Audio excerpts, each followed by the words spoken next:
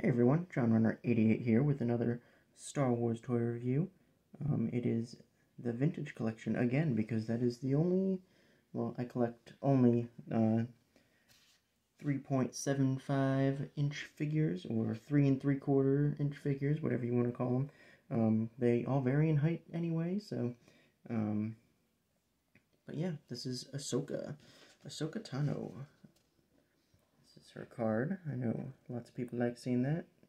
I wish it was a little more realistic looking. Um, it still has kind of like that cartoony sheen to it. Um, as opposed to the Darth Maul card back where that looks very much like a more realistic rendition. Um, yeah, so we got Ahsoka Tano, Mandalore. Sorry, it's at a little bit of an angle. I don't feel like moving stuff. Um, Clone Wars, logo. She's VC202. Wish she was VC200 instead of the Emperor coming out, but, you know. It's, uh, can't be too picky. We're always very picky, but doesn't matter how picky we are. Hasbro doesn't listen too much, but, however, this wave of figures, um, very rarely do I pick up a whole wave of figures, and this Ahsoka Maul wave, um, I had to get all of them. There's like no, no ifs, ands, or buts. Um, got our droid over there keeping her company. Um, but just a fantastic figure. Um, I got her from Target. Um, pre-order was canceled at one point, and I put it back in. Um, it popped up like later that day because they love doing that at Target and Walmart. Um, neither of them are um, great places to pre-order from, unfortunately. Um, but as long as you keep up on your pre-orders and make sure, like, if they get canceled, to just keep on top of it. Also, if it gets delayed, to approve delays so it doesn't just randomly get canceled as well. Um, but yeah, this is a fantastic figure right out of the box.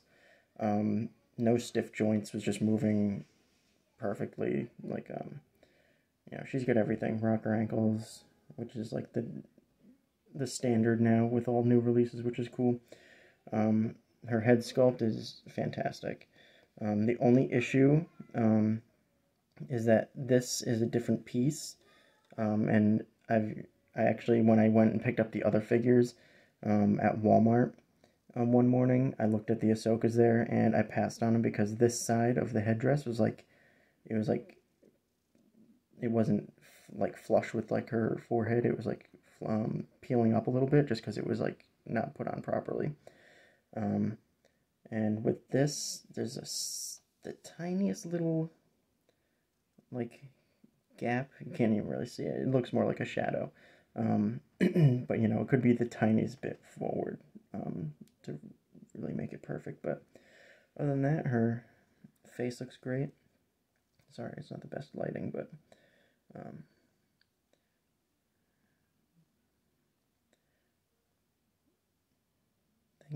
thankfully the one that came in the mail. Um, I usually don't like getting figures in the mail unless it's like a trooper or something, um, because I like to make sure that the faces look good on them. Thankfully, she came in looking good. All of her face markings were in um, the right place. Her eyes weren't wonky. Lip printing is good. I noticed on some of them it, there's a little bit of um, like runoff on some of the edges. I don't like that R2 on her arm right there. I don't know why they printed that on the front, but whatever. I'm sure it could be filed down or something, considering it's cast in orange, um, the upper part of her arm. But yeah, she's got just the detail all over her is great. Um, and this, the little like armor pieces down here are nice easy to move like rubber piece, so they're not going to be getting in the way of any of the articulation because she's got the you know thigh swivels and everything up there, so she can get into like like you can really get her pretty much any pose you want to get her in for the uh she because she's like probably one of the most acrobatic characters we've ever had in Star Wars and being in animation, she's able to really do like some pretty incredible things like you know back like back handsprings and everything. Um back flips just just getting going all over the place doing some sweet moves. And this figure with the only thing she's lacking is just some wrist um, articulation. You know the up downs the in and outs um, but that's just because she's such a thin figure. Um, that would just be they'd just be snapping off. Um, and then the only other issue is I don't like, um, like my one gripe is I wish they just didn't put this little like paint app here, just left it like all bare, and it doesn't sit like all the way in. I know I've seen some people do like, you know, figure hacks or whatever, you can pop that out and like kind of trim it a little bit and make it sit in there a little more flush. Um, it's not very noticeable though when like her arms are down and stuff, and, I mean it's not that noticeable at all. But um, and I feel like if you did do that, it might take away from a little bit of the um, range of motion that she gets. But um, eventually down the line, I might do that. But I was just having too much fun just posing with her. That I didn't even you know, want to take the time to do that. Um, but um, this is her other vintage collection counterpart. Um, as you can see,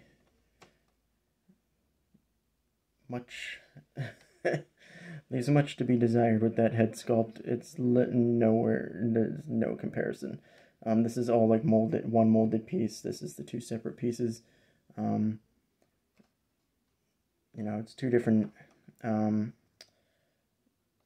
points in her life. I think this one's actually probably stand her up a little straighter, but um, the old one, the previous one's a little taller, it looks like, but we don't need that one anyway. Um, it's a nice little figure, um, but this is, if you don't have this, go, go get it. You need this Ahsoka figure. Um, oh yeah, the only one other issue is I really wish it came with um, saber hilts.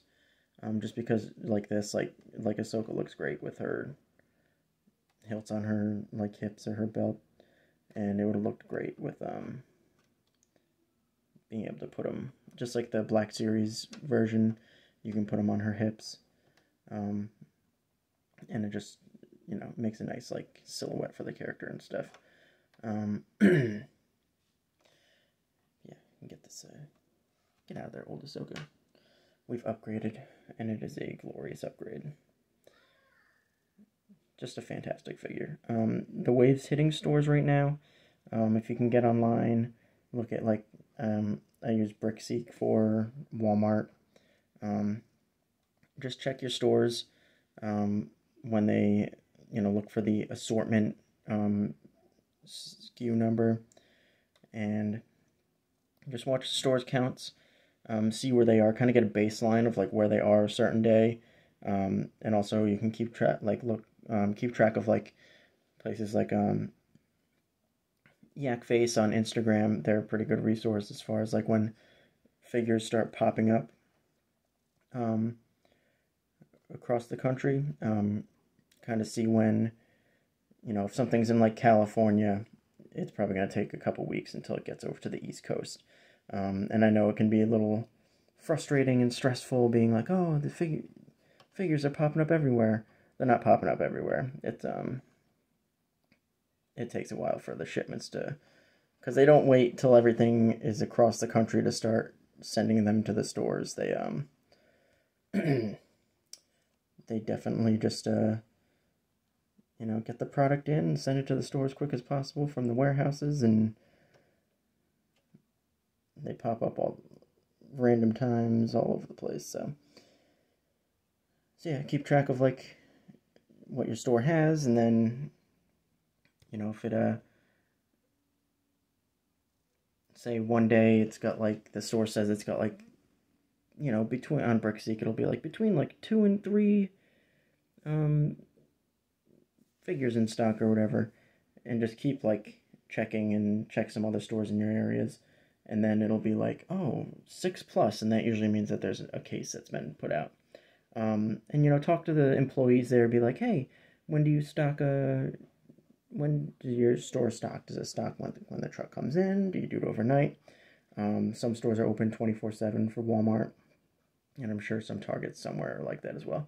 Um, yeah, for me, I um not for this figure in particular, but for the wave, um, I was watching Walmart, um, saw that their stock went up when went that night, um, but they don't stock until um, they stocked overnight. So I went back first thing in the morning when they opened up, and was able to get a I got Echo Maul and a Jawa um, first thing in the morning. So just got to be diligent. Um, I prefer getting figures in store. It's the hunt, the thrill, um, and also I like to inspect the figures. Just like um, I lucked out getting her in the mail with the paint apps being as on point as they are, um, and like I said, if I had gotten the the ones at Walmart that I saw that had the the headpiece like lifted up on the side, I would have been very frustrated and would have been returning that.